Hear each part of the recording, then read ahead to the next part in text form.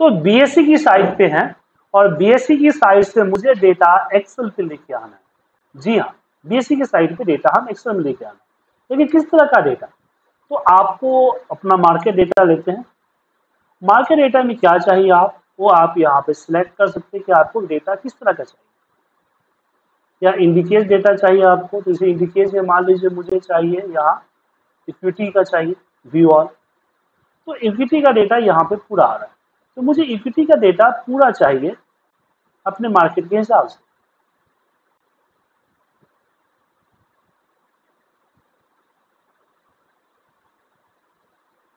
मान लीजिए मुझे बी एस सी टॉप 200 का डेटा मुझे चाहिए। और 200 डेटा यहाँ पे आता है और मैं जब इसकी पे क्लिक करता हूँ तो यहाँ पे पूरी टेबल आती है। अब मुझे इस टेबल को अपने एक्सेल सीट पे लेके जाना है। कैसे जाए तो इसके लिए आपको ऊपर जो आपका यूआरएल है, इस यूआरएल को कॉपी कॉपी करने के बाद एक्सेल सीट पे आइए और जाइए डेटा फ्रॉम वेब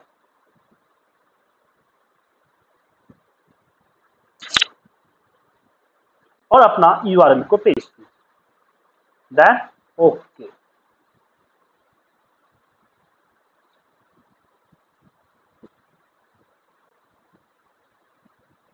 और अपना टेबल सिलेक्ट कर लीजिए। डॉक्यूमेंट होगा, यहाँ पे टेबल होगा। पर टेबल में इसने पूरा डेटा नहीं दिया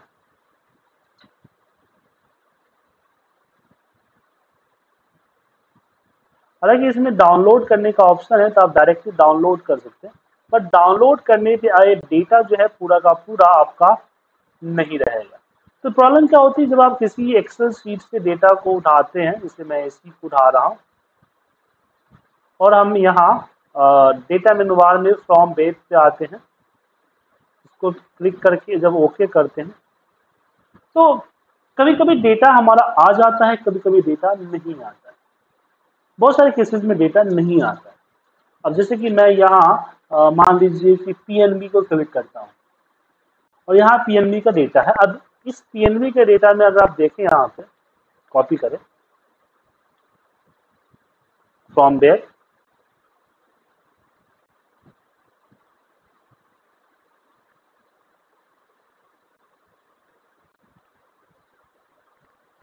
यहाँ आता है।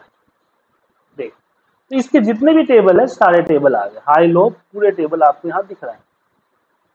टेबल वन टेबल टेन ये देखिए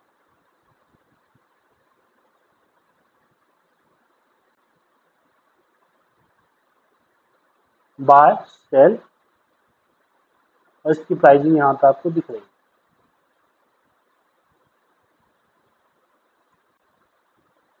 यहाँ देखिए प्रीवियस ओपन हाई क्लोज यहाँ ये टेबल है, इस टेबल को यहाँ पर आ गया मैं इसको यहाँ पे लोड करूँगा।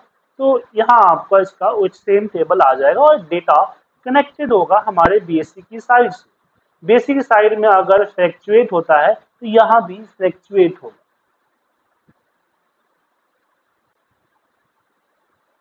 अगर प्राइस ऊपर नीचे होती है तो वहाँ भी अपडेट होगा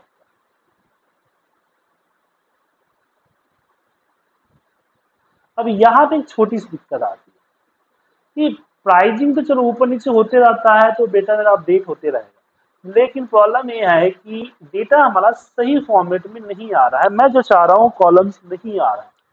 तो हमने क्या किया है? यहाँ से डाउनलोड कर लिया है और मुझे यहाँ मार्केट का इंडिकेट यहाँ पता चल गया है। तो हमारे 2000 अब जैसे कि यहाँ पे देखिए ओपन हाई एफ़ पूरा आपका डेटा डाउनलोड होगा पर ये डाउनलोड है not connected to your website मैं चाहता हूँ मेरे वेबसाइट से कनेक्टेड हो। तो इसका जो नेम है, जो सिक्योरिटी नेम है, इस सिक्योरिटी नेम को मैं यहाँ से कॉपी करता हूँ। कॉपी करता हूँ और एक नई सीट जहाँ है, वहाँ पे आता हूँ। ये हमने यहाँ पे कॉपी कर दिया। अब यहाँ पे आपका डेटा मेनुवार में होता है स्टॉक अब मैं इस स्टॉक पे क्लिक करता डेटा ज़्यादा होगा तो थोड़ा सा टाइम लगा। तो आपको सिक्योरिटी नेम जो है सिक्योरिटी इंडिकेट है, उसको आप रख लीजिए। और सारे सिक्योरिटी नेम यहाँ आ गए। अब जो सिक्योरिटी नेम इसको नहीं मिला, जैसे जैसे आज देखें, इसको नहीं मिला है सिस्टम पे एक बार आपको उसका नाम पूरा ढूंढना पड़ेगा। एक नाम जो है, उसको नहीं मिला है, वो है आपका दूसरा बात है कि एनएससी के साइड से ले रहा है।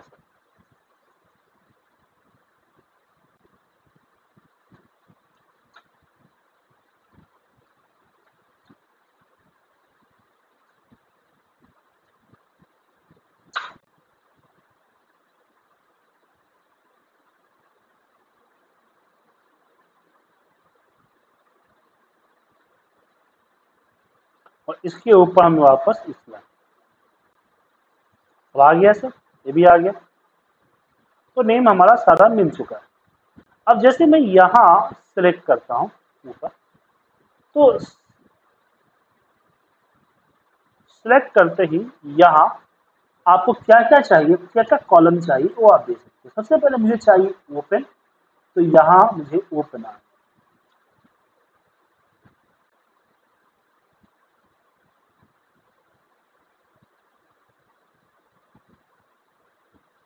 नीचे तक सेलेक्ट कर लिया मैंने मुझे यहाँ ओपन चाहिए तो ओपन आ गया। मुझे यहाँ पे हाई चाहिए। मुझे यहाँ पे लो चाहिए। मुझे यहाँ पे close previous close is close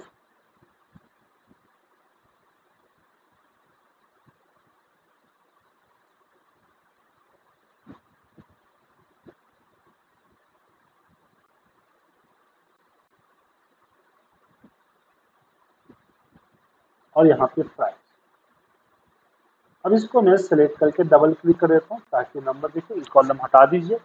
यहाँ पे आप लिख दीजिए इसकी हेडिंग कंपनी नेम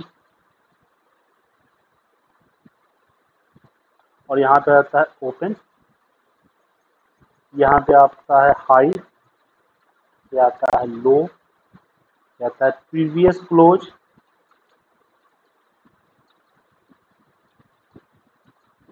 और यहाँ आता है प्राइस प्राइस अब इसकी फॉर्मेटिंग आपको करनी है, इसकी फॉर्मेटिंग वगैरह भी आप अप्लाई कर सकते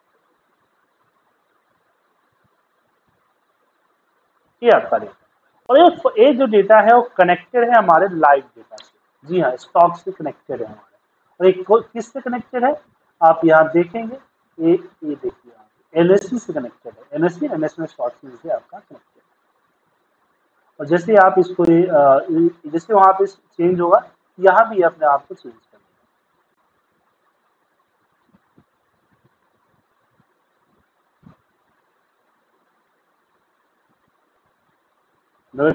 अपडेट हो रहा है,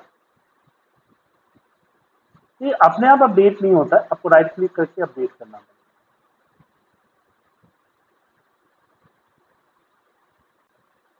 इस पर क्लिक करेंगे अपडेट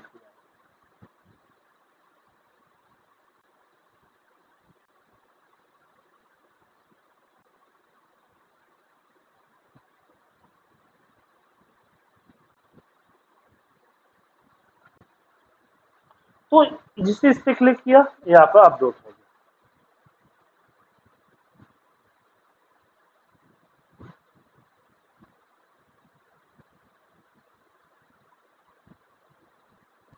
या फिर यहाँ फॉर्मूला में हमारा कैलकुलेट ना होता है। उस पर क्लिक करने पे भी चेंज होता है। ये डेटा कनेक्टेड है और बस आप यहाँ डेटा मेनू में क्लिक कीजिए और तो दो तरीके हुआ। एक तो मैंने आपका डायरेक्ट साइड से उसकी क्लिक कर दिया। इसको भी राइट क्लिक करके आप रिफ्रेश करते हैं तो डेटा आपका अपडेट होता है, अगर वहाँ पे अपडेशन होता है तो। और यहाँ भी आप कर सकते हैं स्टॉक वाले डेटा टाइप के स्टॉक से भी कर सकते हैं। बट क्या है कि लेटेस्ट वर्जन के एक्सेल में आपको मिलेगा, पुराने वर्जन के एक्सेल में आपको नहीं मिलेगा। तो इसको यूज़ कीजिए किसी तरह की प्रॉब्लम हो तो मुझे कॉल कीजिएगा और हाँ मेरा मोबाइल ऐप ज़रूर डाउनलोड कर लें। इस वीडियो की डिस्क्रिप्शन लिंक में मेरा मोबाइल ऐप दिखेगा। मोबाइल ऐप में सारे वीडियोज़ एक साथ कंटिन्यू करके दिया हुआ है, एक के नीचे, एक के नीचे। तो वहाँ से आपको पूरी एक्सेल पूरी वीवीए एक्सेस की आपका वीडियो जो है सिक्वेंसली मिलेगा, जिससे आप अच्छी तरीके से सीख सकते हैं।